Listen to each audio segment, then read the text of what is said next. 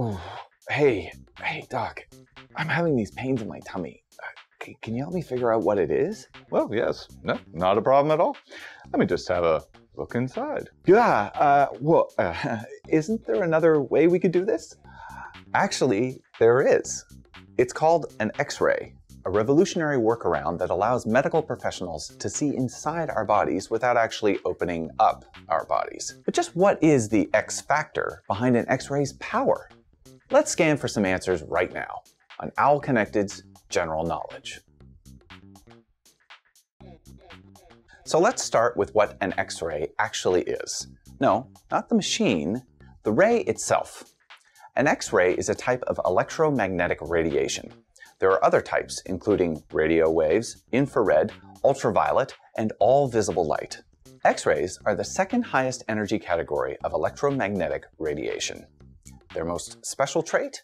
They pass through most objects and substances. Most, but not all.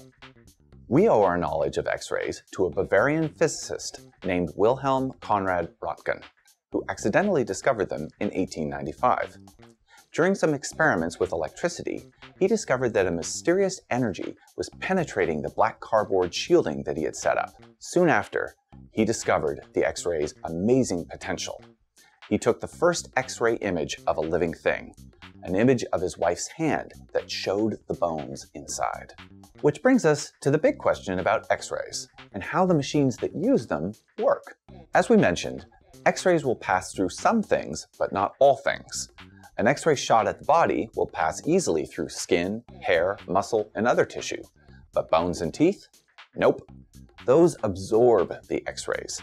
Ditto for foreign objects like metal or rocks. An X-ray machine is simply a device that fires an array of X-rays at a part of the body that the doctor wishes to see inside of. On the other side of that part of the body is something known as a detector. In the past, detectors would have been photographic material that would have absorbed the X-rays that passed through the body. These days, we have digital detectors, which take the X-ray information and turn it into a computer image. No matter the exact technology, the principle remains the same. The X-rays will pass seamlessly through most of the body, but they are stopped by the bones. This casts a shadow upon the detector in an image of the bones. And with that, you can see inside the body. X-rays are extremely useful at correctly diagnosing broken or fractured bones. They can also be used to precisely locate accidentally swallowed objects, as well as things that have penetrated the skin but cannot be seen. They revolutionized medicine immediately, turning surgical guesswork into a field of incredibly precise care. One other thing that you may have heard about X-rays, they're not exactly good for the body. As a form of high energy radiation, it is dangerous to be exposed to them for very long. That's why you'll find people wear things like lead aprons during an X-ray procedure. The lead blocks the X-rays. Fortunately, a modern X-ray image can be captured in a fraction of a second. This length of exposure is extremely safe, especially when weighed against the benefit of learning so much about a person's body. Well, wasn't that revealing? And if you're looking for more such insights, we have great news.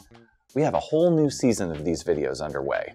So click below and subscribe so that you never miss another episode of Owl Connected's General Knowledge.